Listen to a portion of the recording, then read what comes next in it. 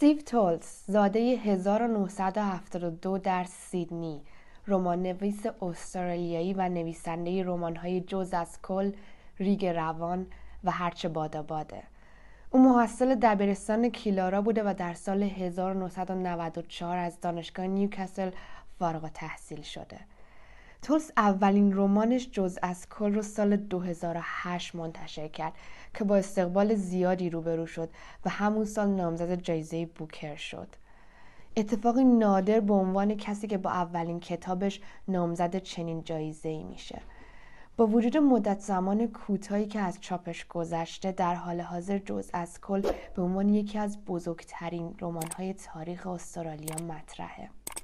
این کتاب در ایران به بیش از هفتاد چاپ رسیده و یکی از پرفروشترین کتابهای دهه 90 شمسی بوده.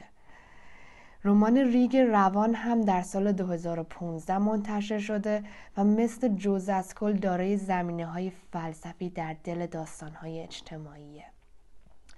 جدیدترین اثر این نویسنده به نام هرچه باداباد در اردیبهشت ماه امسال همزمان با عرضه جهانی در ایران نیز منتشر شده.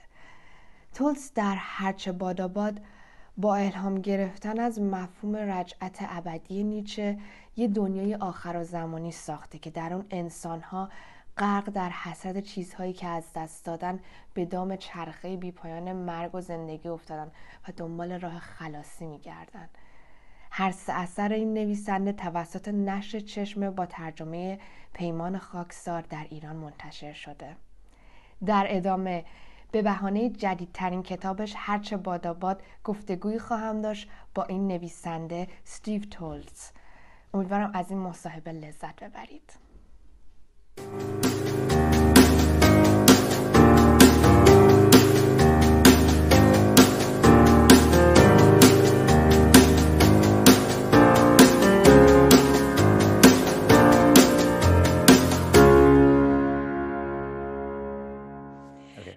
Hello, Steve Toltz. Uh, I'm really honored and happy to welcome you to this interview. Um, I'm really excited and um, I thank you for the time you took to do this interview with us. Thanks for having me. Yeah. Uh, to begin with, um, given that uh, this is your first interview with a Farsi medium, we are, we are very glad to hear you introduce yourself in your own words. Okay, uh, I am an Australian author. Um, my first book, A Fraction of the Whole, came out in 2008. My second book, Quick, Quicksand, in 2015. And my third book, Here Goes Nothing, just came out. So it looks like I'm doing one every seven years. That's really great.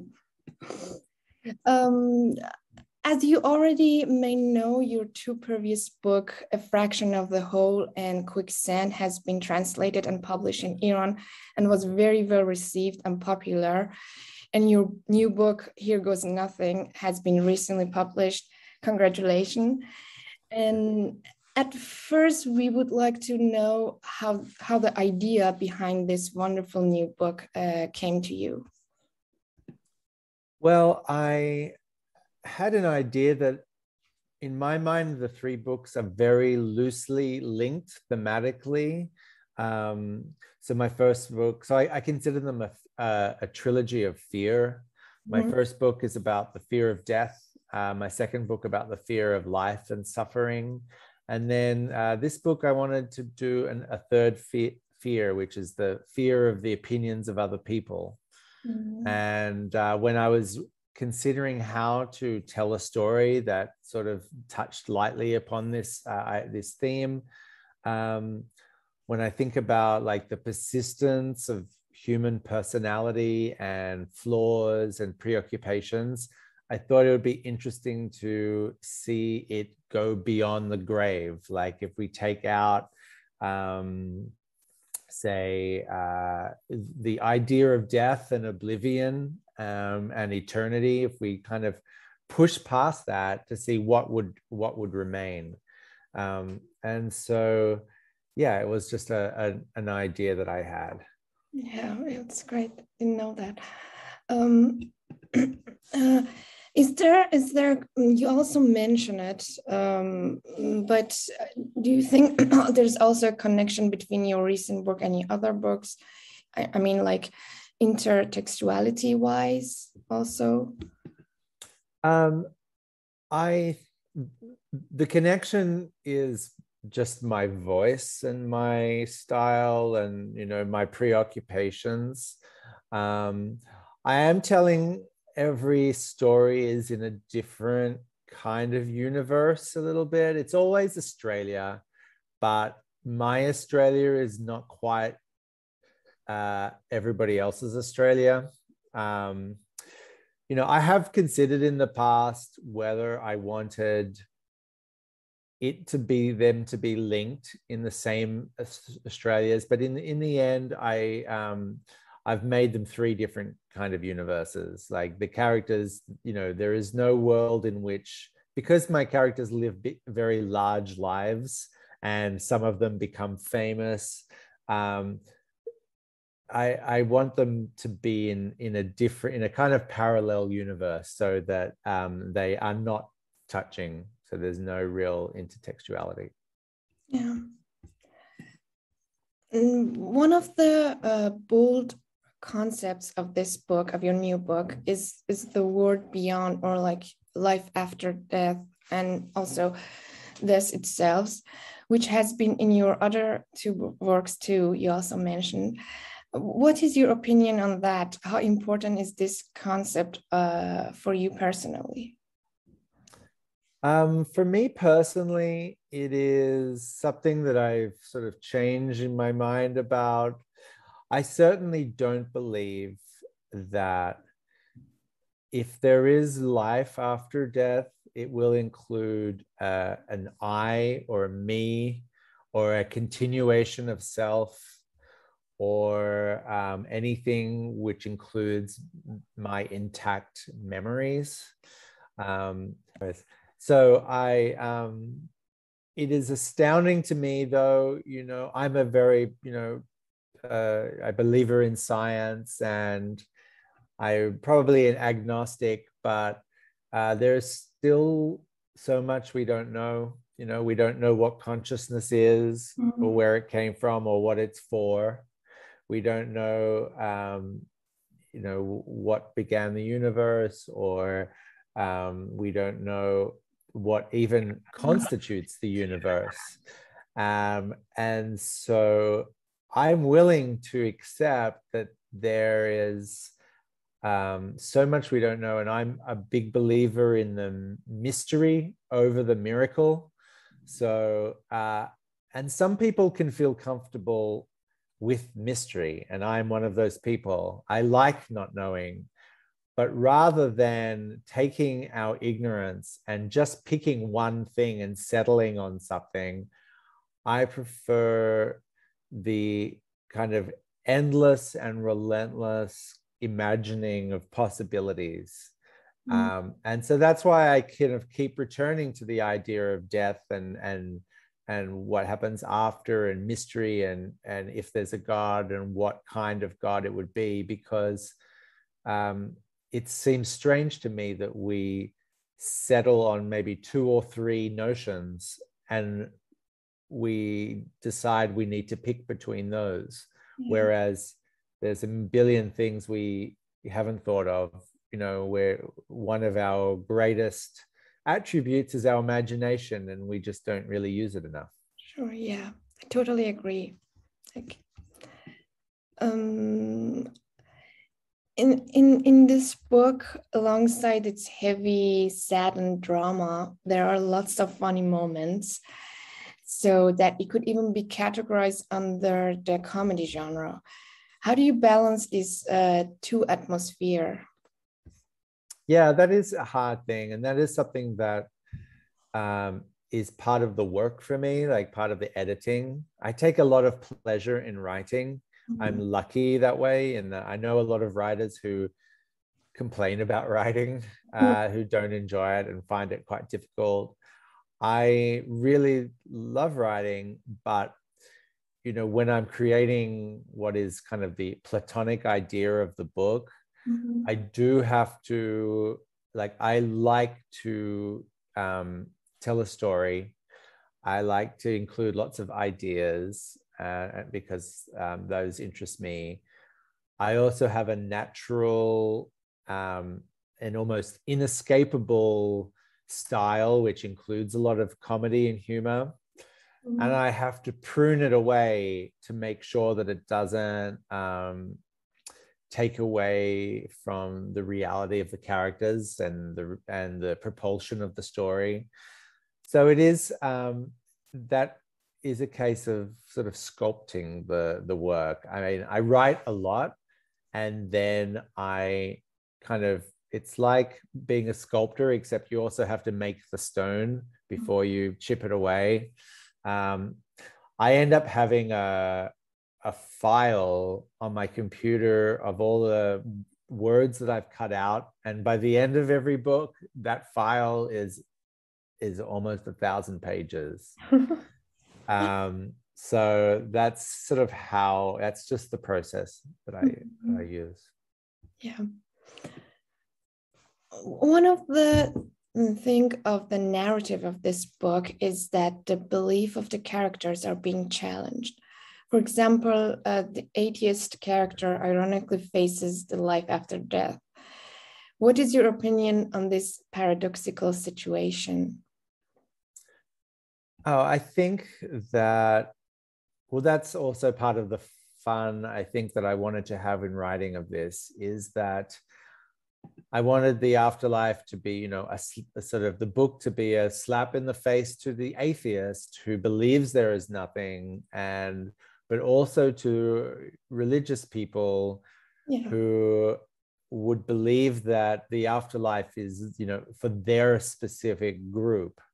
Mm. Um, and I think that I just wanted to attack the hubris of human beings and the certainty of our beliefs. Mm-hmm. Um, because there's just no reason to expect that we're right about much of anything and our our intuitions are all are almost always wrong um, and so um, i feel that you know one of the things to do in a book or in any kind of creation of a story is to put your characters in in some kind of jeopardy or you know to to face some kind of challenge. And because i love i'm a lover of ideas i what i want to challenge is um is ideas.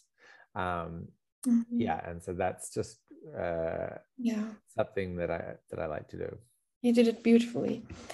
Yeah. um in your recent book, the social media presence is so strong and visible, and that one of the characters named Gracie is addicted to the social media. But it also helps her in further in the book. What is your point of view on social media? Uh, I think it, we think humanity has gone down a really wrong path. Mm, sure. um, and I think that we're all, I've never met I now do not know a single adult who is not addicted yeah. to um, social media and the internet. And I don't think there's a problem with it per se. It's it's just its ubiquity. And so um, you know, the character in my novel, uh, the narrator Angus, says to his wife one day, Gracie, you know, maybe what if you only looked at your phone on a Sunday? Because social media seems like a nice thing to do on a Sunday afternoon. Mm-hmm. Um, and I kind of believe that. I'm like, there's nothing wrong with it in itself, but we look at it a hundred times a day, and you know the hours that everybody spends on it. It's um, it's destroying the ability, the human ability to focus yeah, um, sure. and of course all its threats to different democracies around the world and yeah. Um, yeah i think the problem came for uh, society when they introduced uh, wi-fi because because there was a period of the internet where you had to be on a computer that was connected to a on a desk and you had to sit at your desk Mhm. And you could only do that for so long but as soon as you went to the couch and then went to the street and i mean yeah it's uh it's the problem is that it's all the time everywhere Yeah. um yeah we need to somehow reverse it Yeah, exactly. Um, in your um, in your book, we see a fatal disease pandemic that reminds us of the COVID nineteen. How has this pan- pandemic affected you as a writer? um my fictional one or the real one Both. well uh for better or worse i actually wrote that pandemic section in 2019 oh, so whoa. oh my Yeah. god!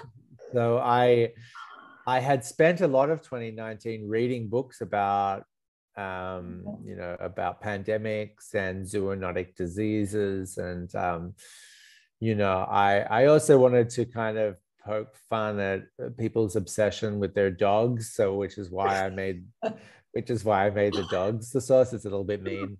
Uh made the dogs the source of the pandemic.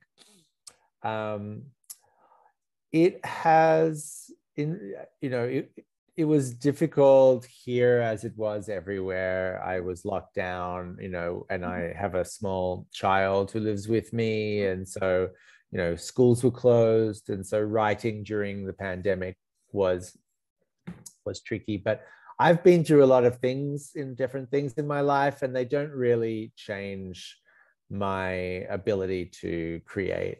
Um, so in many ways for a writer it was not that um, that much of a hardship because i write at home anyway yeah. um, but you know you certainly the the end of socialization for a period was was tricky Mhm, Yeah. Um, um, in your book, after the pandemic, the morality of the characters of the book are being challenged. Has the morals of the man changed after COVID, in your opinion? What do you think about that? the morals of like of men in particular In no, uh, in in human being. oh I mean, um no no. not at all i mean think about i mean we we've we've lived through an, an unnaturally long period without a pandemic i think. And i i think that we have thought um certainly in the west that you know we were at this end of history period where you know traditional warfare was over and um, we were moving towards a kind of brighter future um, and we've just been reminded that you know the history of the human race is a history of um, you know of famine of pestilence Mhm. and of war and um, just because we had this kind of long break from it uh, yeah.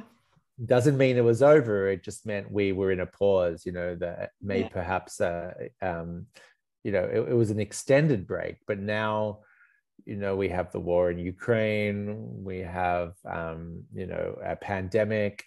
Um, and so I feel that this is just another natural part. And um, I've, I see no evidence that, that any of that has has improved anybody morally in Mm. any way in like um as as it wasn't improved in the spanish flu of you know of Yeah. nine of 1919 so Mm. um yeah i think we are generally unimprovable uh by unless you know within the time spans that we're dealing with you know maybe if humans lived another 100 200 300,000 we would start to see some improvements. Maybe. I i don't I mean, that's well, that's the beauty of reading, you know, the oldest works of literature.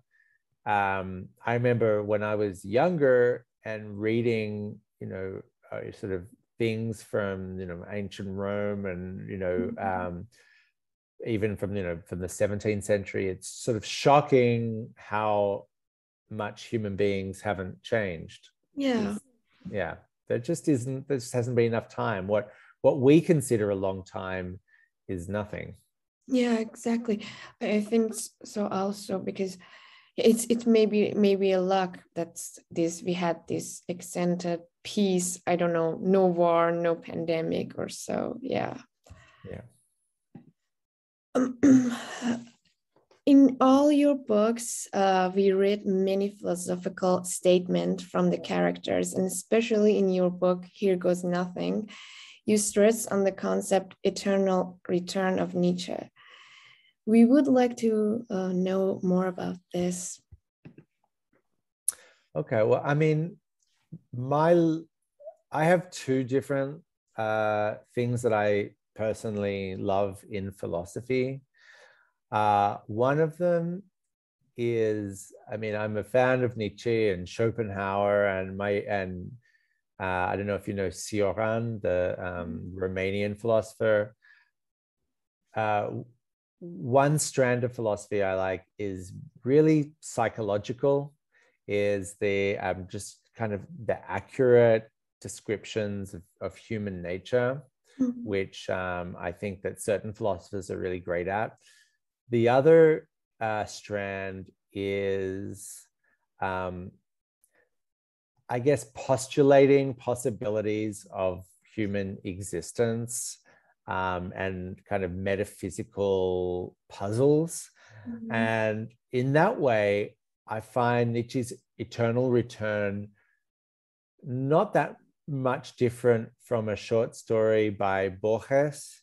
Mhm. Um, you know, it's they they are little short you know, little um, thought experiments, um, and so I kind of see those kind of thought experiments as um, little fictional constructs in the same way as like Borges's um, library, you know, it, of of Babel or um, sorry, Lottery of Babel or his Eternal Libraries, uh, the Labyrinth.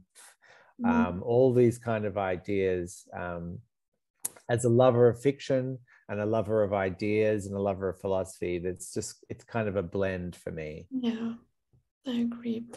And you read lots of philosophical books or like historical books still, or Yeah, I'd like to. I do kind of oblique research into my um, like I don't do a lot of factual Mhm. research, um, but I because I like to just use my imagination, tell stories. But I do like to read a lot of psychology, science, and philosophy. And so, for instance, if I'm going to write something about dreams, then you know I'm going to read Freud and Jung and yeah. you know and then and then see you know what other advancements there are in dreams and scientific journals and um, just to be telling my little fictional story um, yeah so i do uh, it's always story specific if i'm trying to write um, um, something i will do very wide research Mm, um, about the it thematically yeah. Um, in your recent book, uh, there is an Iranian sub character, secondary character. Also, in one of uh, the early chapters, there is a um, reference to Farsi speaking poet Ghaleb Dehlavi. According to that, how familiar are you with Middle East literature, especially Iran's? I am I would say not very familiar at all. I would like to do a um I would like to be more familiar. Mhm. Yeah, I don't I mean I I have come across certain things, but um yeah, I I cannot speak too much towards it. It's, it's okay. Um, so let's go to more general questions now. Um, how important is the audience to you while you're writing? Um it is not I again I'm I'm trying to write what is kind of the best version of the book as possible. And so I consider myself you know the ideal reader. I'm sort of reading a, a writing a book that i would like to read Mhm. but also um, i still i don't write on the computer. I write by hand um, like by pen and paper. And so um, i feel that when i write uh, my hand works faster than my mind sometimes and so if i write something i'm always surprised by what i write so i am in very much a very real sense my first reader Mhm. um, yeah. I I certainly don't worry about um, you know offending sensibilities or um, upsetting people or um,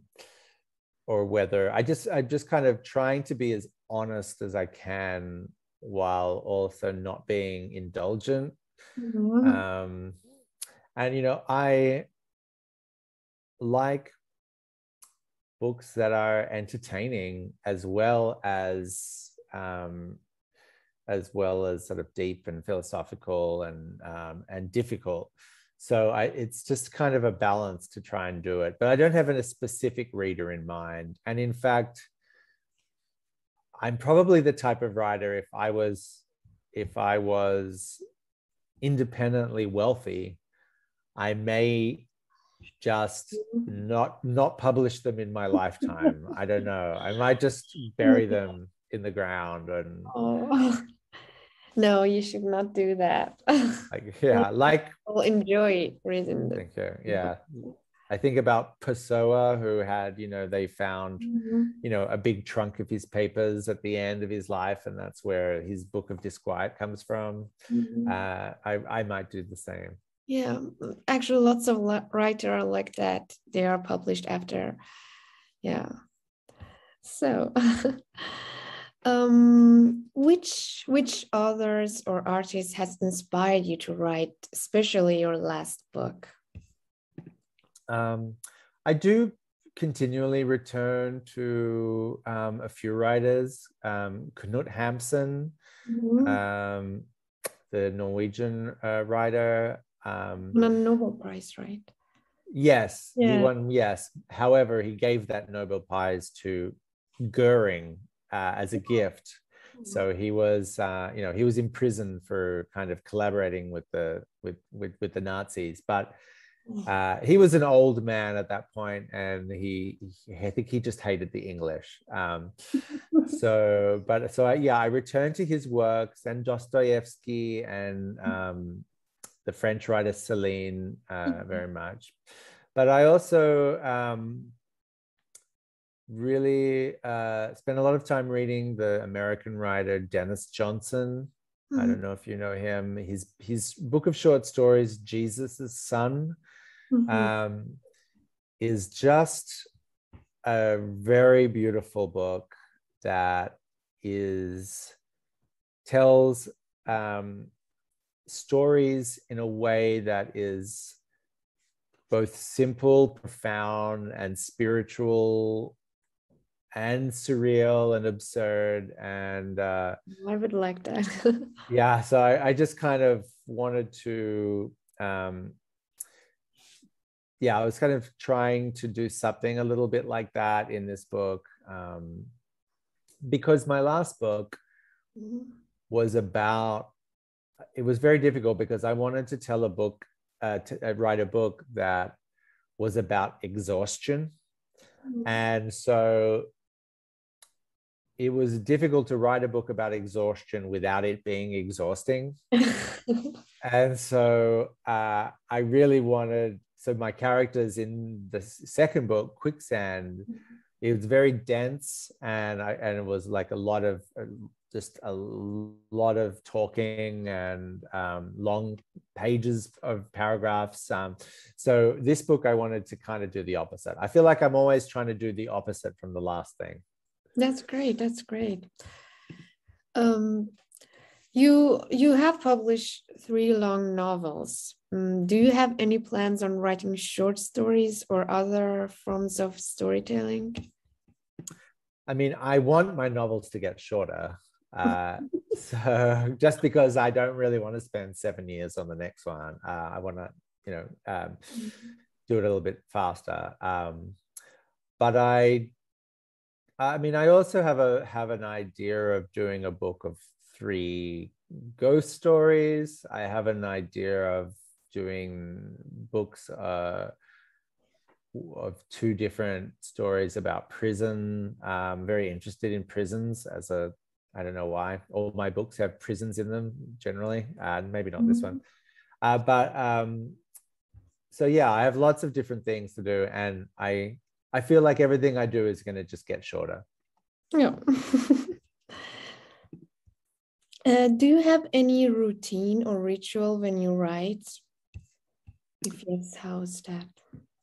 Yeah, I mean, I write, I try to write in two hour blocks, and then I fit as many of those in the day as possible. But I also like to move around a lot. So I will do those two hours of writing in every two hours is in a different location. So I do two hours at, you know, in my kitchen, then two hours at the beach, then two hours in a park, two hours in a cafe, uh, or the library, or you know the cemetery, or somewhere different, because it's you know I don't have my computer. I'm just with my uh, notebook, mm-hmm. and which makes me very mobile. Um, so yeah, that's kind of my my routine. Yeah, that's that's great. Moving is always is always good. Yeah. Um, what is some of your favorite hobbies? Oh, hobbies. uh, I play guitar. Oh, yeah. Great. So I like to play guitar and sing a little bit. Um, you I've been, write songs? Yeah, I write songs as okay. well, but I don't play them for anyone. It is literally yeah. a very private. Uh, my ten-year-old son is the only person who's, who hears them. Um, and yeah i sort of we i live in a area where there's a lot of hiking trails so hiking i really love cinema is my other love and so um, you know i used to before i write novels i wanted to be a filmmaker so i made a lot of short films and um, so yeah I, I try to go to the cinema as often as possible yeah uh, do you have uh, any advice or words for aspiring writers? Um, I would say, first of all, uh, well, the main thing is you have to be widely read. That's you have to read a lot, mm. and there's no. I've never. I mean, the one thing that all writers, you know, good writers have in common you know doesn't matter where they are in the world or what age they are or what gender or ethnicity or race the one single thing they all have in common is that they have read a lot. Mm-hmm. so you have to you know continually read. You'd be surprised at how many writers young writers uh, want to write a book and, and don't read very much. Uh, it's impossible. But um, and the other thing is that it's impossible to be good at 1st mm-hmm. You know, you have to um, be at peace with uh, failing for a long time, yeah. really. Um, and to just try and get into the habit of finishing things so write if you're trying to write a story, don't give up halfway, even if you lose interest in it or if don't think it's good. Just finish it, and then you know every writer just uh, everything has to be bad. I mean, my first drafts now are are bad, um, so you you have to accept to mm-hmm. write bad things and then sort of improve them. Yeah, the, the acceptance. Yeah Exactly. And the other thing I would say, especially for a novel, is that you're not every time you sit down to write, if you're writing a novel, you're not writing a novel, you're just writing a paragraph. Mm-hmm. And that's what you need to uh, do. And even if it's, you know, break everything into the smallest possible um, components and just work on that at one. You can only do one thing at one time. And you know, it's at the level of a sentence or at most the level of a paragraph. And if you just focus on that over time, it, it accumulates. Mm, thank you. Um, what is your plan for future writings? Um, my next, well, now that I feel like I'm done with writing about fear, because I've written three books which mm-hmm. include fear, um, I'm very interested in um, consciousness and um, the nature of consciousness and free mm-hmm. will and uh, those kind of topics. Mm-hmm. So perhaps my new book is a is the first in a loose trilogy about consciousness um, and artificial intelligence and um, the future of humanity. um, so I'm yeah I'm doing I have a I'm about a third of the way through a new book. So I am I am writing. Uh, I, I feel like I've uh, written a lot in the past year of this new book. Um, so i'm gonna yeah i'm gonna do that. I actually know the next three books i'm gonna write so oh great. Yeah.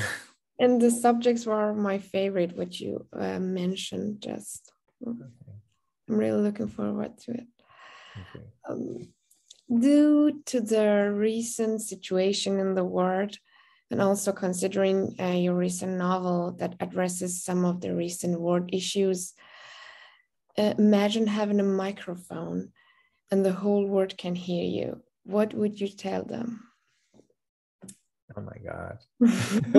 I know. um, what would I tell them? I, I, well, look, again, I think if there's one thing we can do is to, to you know turn off the internet. I, I i know it's a, it's because it's the newest form. It's you can't tell human beings not to go to war or just you know to be competitive you know in a in um, a world or be you know don't be selfish or anything like that because that's part of human nature. Yeah. But um you know deep focus and you know consideration of other people is uh we, you know yeah that we've we've gone we're we're only we're only 10 years down a bad path and we can just reverse it mm-hmm. basically. Yeah. so i would say do that. Yeah exactly. Thank you. So uh, if you're interested can you read part of your new book to our audiences now? Yes um, um, sorry, this is from the middle of the book. Um, this is uh, Angus Mooney talking about his um, living conditions in the afterlife. My own living situation went from bearable to untenable. The neighbors were hedonistic, unhygienic maniacs. All day and all night long, I could hear arguing, the sound of a person almost but never quite reaching orgasm, and a man's voice shouting, No, I won't lower my voice. My shit faced neighbors lurked in the dark corridors, held nightly drunken seances to contact the living, sang dueling national anthems in the shower. A reckless aura hung over everything. Doors were left wide open, and people with obscene, radiant faces tried to coax me into eightsomes. Sure, there's a case to be made that moving from languishing on one's deathbed to a sprightly midnight orgy gave one the right to act like a demigod. But I had a bad feeling that a lot of these folks had committed terrible earthly misdeeds that had gone unpunished and now felt they could get away with anything. The lights in the hallway, had all been intentionally broken, and some people on my floor decided to break down the barriers between them, literally, and began demolishing the walls. This was the frenzy of Second Life. Wow, thank you. I could listen to it for hours.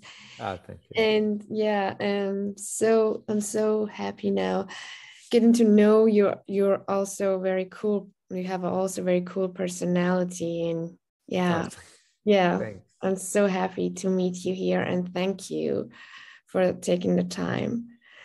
Oh, And thank you. Thank you. Yeah, it was really nice to chat to you. Do you have any last words?